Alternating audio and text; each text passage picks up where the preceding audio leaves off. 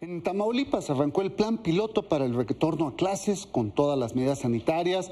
Dicho plan se dio de manera simultánea en 10 escuelas de 6 municipios. El gobernador Francisco García Cabeza de Vaca apuntó que para el siguiente curso escolar esperan que todas las aulas se reincorporen de manera general.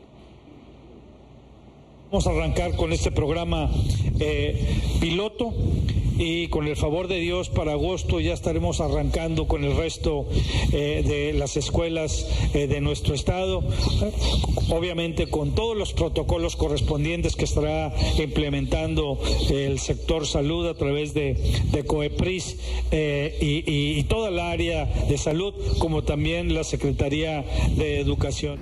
Encuentra lo mejor de Milenio en YouTube. Suscríbete y activa la campanita.